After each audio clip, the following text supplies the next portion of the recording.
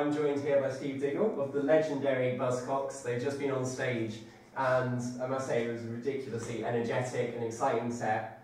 And after almost 40 years of performing, the Yeah. first question has to be: How do you how do you keep that energy in your set? What, what's the inspiration nowadays? What's your fire? Well, um, it's all in the nature of the songs. They've always been uh, lively, you know. Yeah, When a, a Buzzcocks audience, when they come, they, they know slightly what to expect.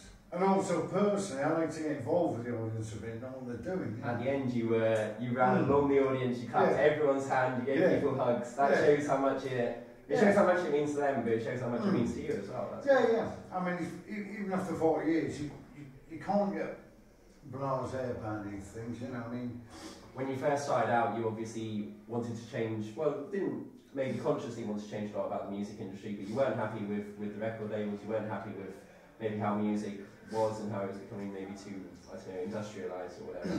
Yeah. Is it if you were to change something about music today?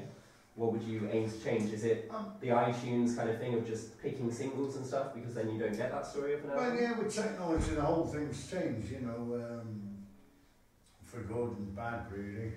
I mean, the records used to be precious, that was, Yeah. and word of mouth was faster than an email in the old days, you know. People knew about this stuff without emails and mobile phones. I don't know how, but it was amazing. Yeah. If you download a couple of songs, I think you're missing out on this one. You hear the whole album as a piece. And It's that's almost back the to story the of classic days, yeah. yeah. To take one particular song, Mm. you finished it on, on it tonight, so Orgasm Addict. Mm. When that first came out, I'd say, it's one of your most famous songs, I'd say. Yeah. Um, when it first came out, it wasn't allowed to be played by the BBC, even it was it was banned. I'm told. Is that?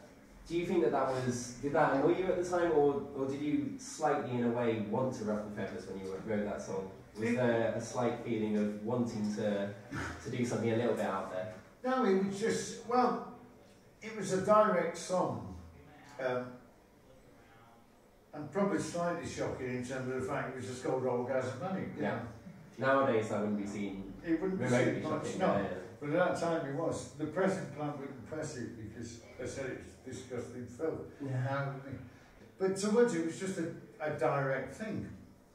Um, and that's probably what shocked people at the time. Christ, they're singing about orga- orgasms and stuff. Yeah, yeah. The amount of uh, people that come up and say, when I bought a record, their mum and dad or something said, what's that filth you're playing? Yeah, yeah, yeah. Turn it off. orgasm, my God. It's like, no, nobody, nobody knew what an orgasm was, you know. In fact, we've probably given a lot of people a sex education. out of No, it. it's fine.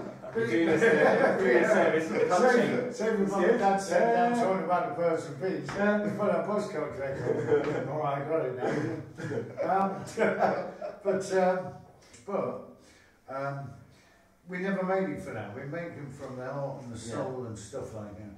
And relate to people with it. So, So almost 40 years in, what is what do you think the future holds for Buzzcocks? There's so many more things you can still do for sure. yeah.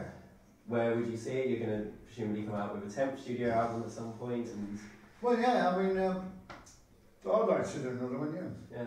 But I'm going to work on my next solo album because I can't wait for these guys all the I've already done three solo albums. Tell us one of your stories from when you were in your 20s. Tell us. There must have been some Oh. wild nights. But it was many, many wild rock and roll times. yeah. We did tours with the Vomina. I did a bit of that with Kurt Cobain. right, yeah. Who hasn't? That's Who a- hasn't? Well, that's a, you know, some of the last two years we cooled down a bit, you know.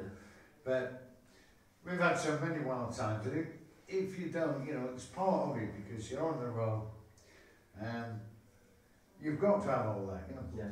But the stamina is stamina to deal with that and to get in the morning and write songs and to get on with it, that's the thing. Yeah.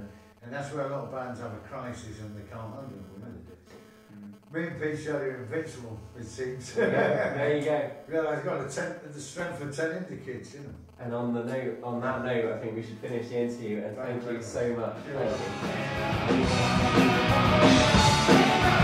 you.